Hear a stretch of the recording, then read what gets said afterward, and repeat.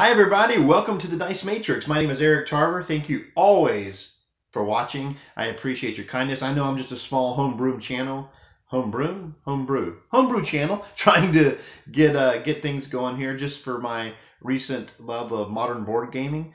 Um, I wanted to tell you, uh, have a little talk about what I'm going to be doing in some upcoming videos. I will still mix in some other ones, but uh, there's a company out there called White Wizard, and they make some pretty good little games. Uh, Star Realms, Hero Realms. Um, they also have, I think, a digital game called Cthulhu Realms, and uh, a game called Epic. Now, these games, um, I'm going to talk about how I feel and what they do in more detail. I'm going to make separate videos for each little one, showing you kind of like the mechanics of the game, how it works, um, describe some of the cards, you know, show you the box, that sort of thing, and uh, tell you my overall thoughts on it, which shouldn't be a surprise at this point, but they're they're fun. You know, I, I started off with mainly the Star Realms, and I really was like, wow, this is pretty good. You know, it's kind of a kickoff of a Dominion. The Star Realms is a deck building game where your hand increases as you go by, and you're uh, acquiring trade or money through these cards to get better cards, which are ships that deal damage to your opponent. It's pretty straightforward. You know, you're collecting, uh, you know, cards to build your deck to get money, to buy more things, to deal more damage, to get ships and bases to protect yourself, an outpost to to uh, uh, you know defend and attack your opponents in it. It's it's it's really a, a nice, quick, easy to pick up game that you can just take with in your pocket anywhere. That's that's one of the things I love about it. Um, uh, Hero Realms is, is kind of a step up from that. It's in the medieval world, which I love because I'm a big fan of Dungeons and Dragons, and um, they uh, have you know they kind of carried over some of their icons from the earlier game, but a few of the mechanics are just slightly different as far as their synergy bonuses and stuff. Uh, I think believe they call them uh, what's the word for it? My brain is not working today.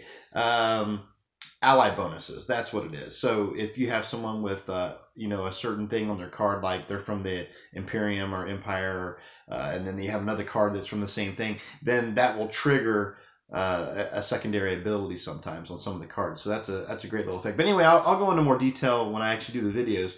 But that's uh, they're very similar on those two first games, Star Realms and Hero Realms. But there's quite a bit big difference in it. And I'll go into some some more, like I said, details on that later on. Now, the third game I'm going to cover uh, by some videos later will be uh, uh, Epic, the card game. I'm a big fan of Magic the Gathering. I'd played that for over 20 years, and uh, I just kind of pulled off of it for a while because it kind of become it became convoluted, you know, uh, to some degree. Now, don't get me wrong, I love Magic the Gathering still to this day, and I still play uh, occasionally um, with friends recreation, recreationally, but I just it's just been a little too much through the years. I, I just had to take a step back, and that's when I started getting into the more of the modern uh, board game stuff. And that's when I also discovered White Wizard, which had these uh, cool little card games that you can play. And um, Epic is going to be very, very good. I can tell already by looking at all the cards that they're going to be. Uh, it works somewhat. You can tell they're fans of Magic: The Gathering because they inquired, you know, some of the mechanics. You know, uh, instead of uh, they use have to use other words instead of tapping. You know, it's like uh, exhausted or whatever. Some of their games are prepared, and and um, it's but it's it's done very well. It's clean. The best part about it is it's all in one box, and there's not any like mythic rares you have to chase after. You can get the decks and and you're ready to go. But anyway, um, I just was letting you know what I'm going to be doing on the upcoming videos, and um, I'm going to make separate videos on each one of those games, uh, kind of giving the gist and feel of everything.